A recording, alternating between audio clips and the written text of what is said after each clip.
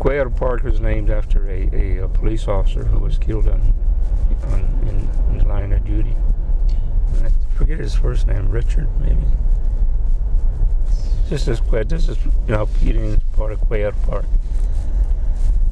We we did we got the ball diamonds. The, the ball diamonds are named after Rudy Ortiz.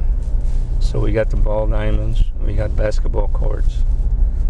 Uh, the swimming pool was already here, and, and the park was. So this this is a uh, the Cuellar Park.